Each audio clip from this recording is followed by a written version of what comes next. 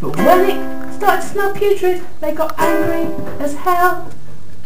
They could refuse it, they could complain, but they assumed this would be quite in vain. Therefore they all got together and avowed The rotten meat should never more be allowed.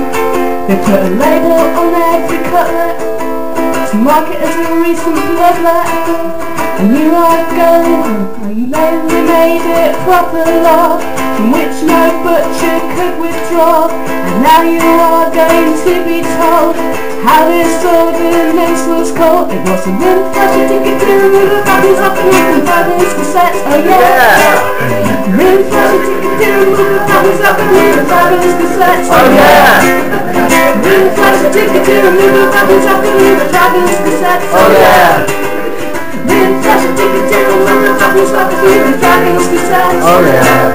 Oh yeah, yeah, yeah, and so on and so forth.